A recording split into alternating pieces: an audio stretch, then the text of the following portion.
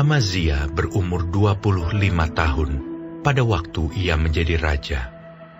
Dan 29 tahun lamanya ia memerintah di Yerusalem. Nama ibunya ialah Yoadan dari Yerusalem. Ia melakukan apa yang benar di mata Tuhan, hanya tidak dengan segenap hati.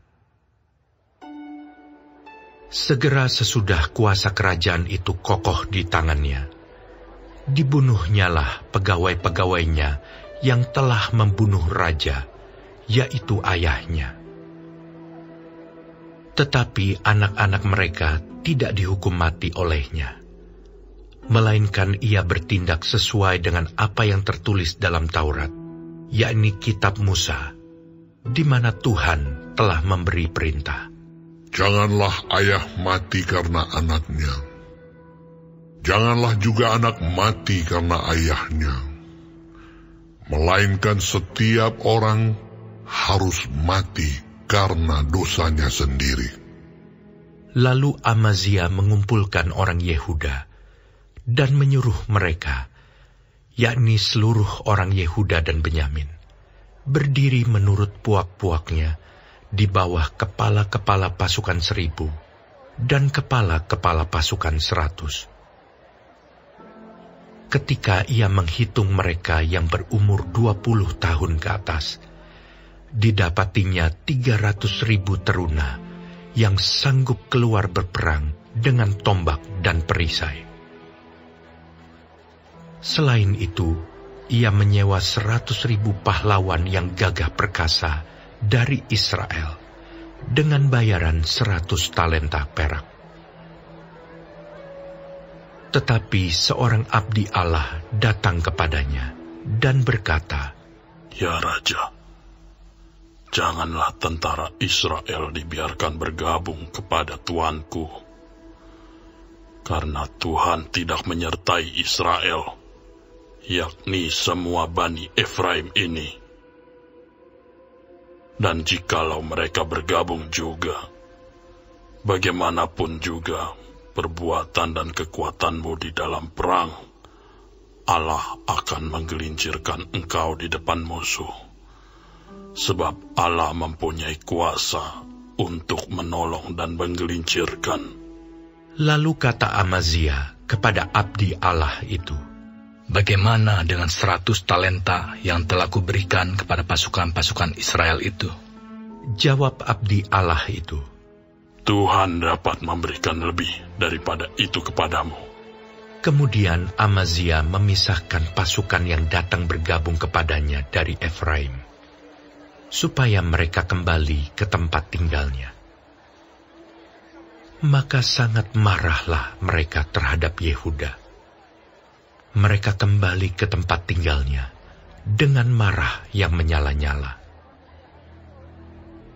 Amazia mendapat keberanian, lalu memimpin rakyatnya ke lembah asin, dan memukul kalah sepuluh ribu orang dari Bani Seir.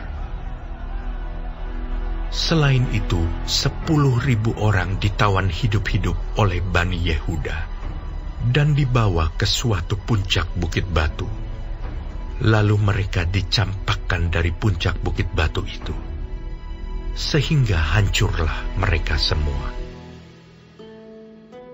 Tetapi orang-orang dari pasukan yang dipulangkan Amazia dan yang tidak diperbolehkan ikut berperang dengan dia, menyerbu kota-kota di Yehuda dari jurusan Samaria sampai ke Bet Horon dan menewaskan tiga ribu orang penduduknya dan merampas banyak jarahan.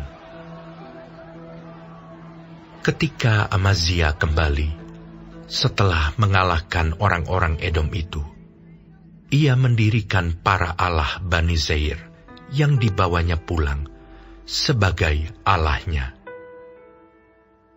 Ia sujud menyembah kepada Allah-Allah itu dan membakar korban untuk mereka maka bangkitlah murka Tuhan terhadap Amazia. Ia menyuruh seorang nabi kepadanya yang berkata, Mengapa engkau mencari Allah sesuatu bangsa yang tidak dapat melepaskan bangsanya sendiri dari tanganmu?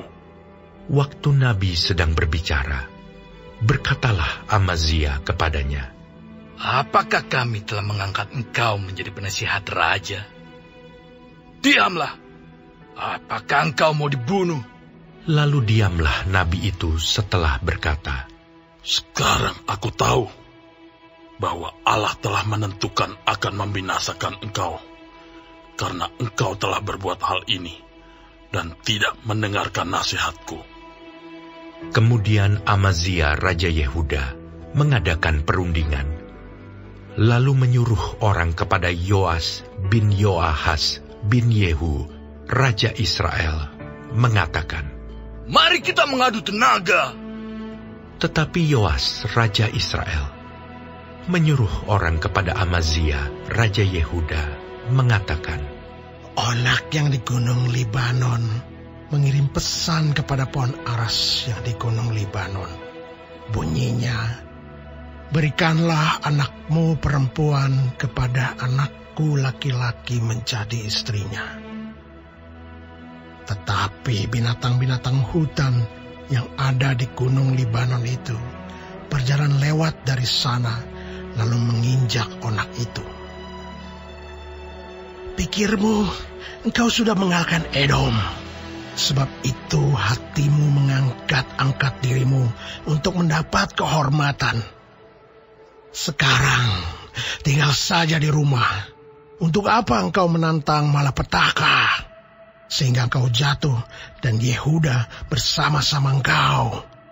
Tetapi Amazia tidak mau mendengarkan sebab hal itu telah ditetapkan Allah yang hendak menyerahkan mereka ke dalam tangan Yoas, karena mereka telah mencari Allah orang Edom. Sebab itu majulah Yoas, Raja Israel, lalu mengadu tenagalah mereka. Ia dan Amazia, Raja Yehuda, di Bet Semes, yang termasuk wilayah Yehuda. Yehuda terpukul kalah oleh Israel, sehingga masing-masing lari ke kemahnya. Yoas, Raja Israel, menangkap Amazia, Raja Yehuda, anak Yoas bin Yoahas, di Bet Semes. Lalu Yoas membawa dia ke Yerusalem. Ia membongkar tembok Yerusalem dari pintu gerbang Efraim sampai ke pintu gerbang sudut, empat ratus hasta panjangnya.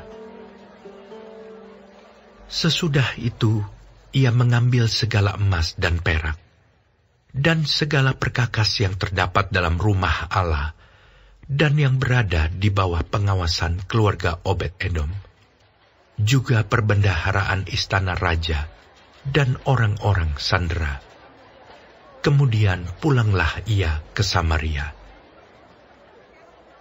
Amazia bin Yoas, Raja Yehuda, masih hidup lima belas tahun lamanya sesudah Yoas bin Yoahas, Raja Israel, mati.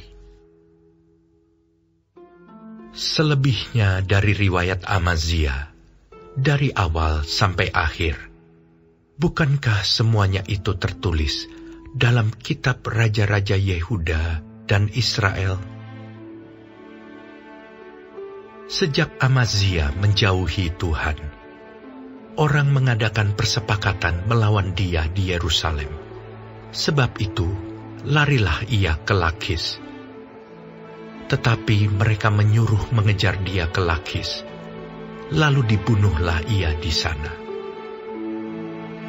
Ia diangkut dengan kuda lalu dikuburkan di samping nenek moyangnya di kota Daud.